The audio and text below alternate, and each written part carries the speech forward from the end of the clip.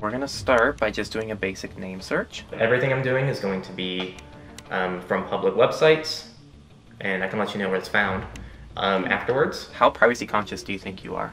I'm relatively privacy conscious. Um, I wouldn't know.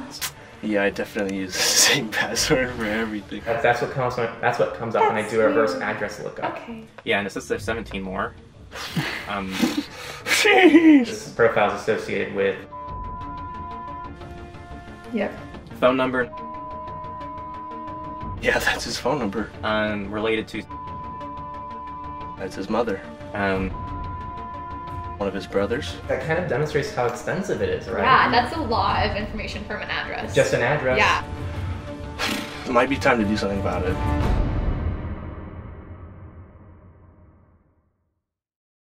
You, yes, you watching this video, have you searched for your information online? If you haven't, seriously, pause this video and go ahead and try it out. Most people aren't really aware that quite literally the foundation of their lives is practically public information. Home addresses, phone numbers, emails, relatives. Let's talk about this incredibly invasive industry, how it works, and a service that's attempting to tackle it here on Techlore. Every account you create, every company that gets your information is another entity that can share that information. In the United States especially, data brokers collect, harvest, and share this information to those looking to pay for it. Most people actually have profiles accessible through sites like My Life and the dozens of others which anyone is able to access and purchase your information for typically just a small fee. This is Rob, and he's the CEO of a company called Abine, who runs a service called Delete Me, which aims to simplify the process for users to be removed from these sites, which is traditionally a very grueling process. I had myself, our editor, and a family member sign up for Delete Me. For myself, I went in pretty confident as I'm constantly covering my OPSEC and ensuring I'm doing a good job with this kind of stuff. Delete Me did find one site that had a piece of superficial information, so I came out mostly clean. The family member had dozens of sites with their information, and they thought they were doing a good job, so this was actually a big surprise to them. Our editor also had lots of sites with various data points. For both our editor and the family member, they have now taken more precautions, and since the information has been removed, they are waiting to see if things come up again after everything is said and done. So here's why this industry is awful. If your information is removed today, that doesn't mean the website won't relist you again later. So there's still the core issue of your information being fed from some miscellaneous sources. there's lots of places and it's hard to pin down uh, one wh- what the database engineers call the primary keys the identifiers that they use to connect all this information together are ones that you know we're familiar with and i think uh, we ought to try to give out less which are which include our phone number our primary email address and uh, and potentially our credit card number uh, so the companies rely on these unique identifiers to keep the data uh, that they're getting on all of us and building these profiles uh, accurate. And here's one of the areas we're a bit mixed on. We're very DIY back here, and we always encourage users to address the root issue themselves. These are many of the things that we cover in Go Incognito. There's even a Go Incognito lesson covering how to manually accomplish what Abine's Delete Me does yourself, which funny enough actually references their free guide to doing it as well. However, the more I'm talking to some of our one-on-one consulting clients, the more I'm realizing that people don't have time to do this themselves.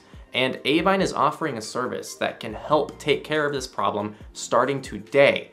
And while they're in the process of cleaning up the issue you've created, you can clean up the back end to ensure it doesn't happen again. To accompany this, Delete Me is a subscription service, so they'll continually check up on you, which means you can see and verify if your information doesn't reappear after their initial check. So let's break this down. In my perfect world, I do recommend people do this DIY because they can save money.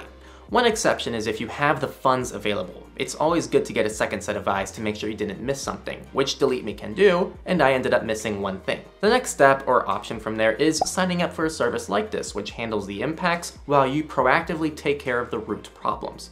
You can then check monthly if what you did is working. Now, the third option, and what I discourage, is over relying on a tool like Delete Me to keep cleaning up after you, because this data is coming from somewhere, and you should proactively figure out where somewhere is and how you can stop it from happening. Now, this service isn't perfect. First, Rob himself says it's not a perfect tool.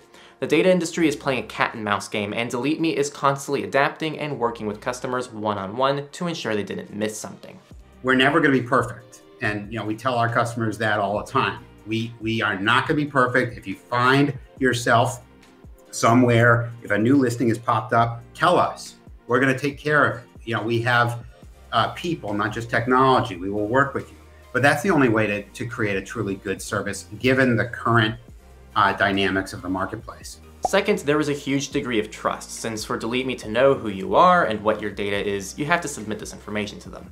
Like Rob says though, this is predominantly built on trust, and after 10 years they are still trusted by their customers, and we haven't found a reason to distrust them either. Like most things, we wish some of their tools were open source, but I think the core issue here goes beyond just open sourcing their tools, since they still have to handle your information one way or another. Third, Again, this is not a solution to the core problem. Delete Me is dealing with the aftermath of the issue, their cleanup crew.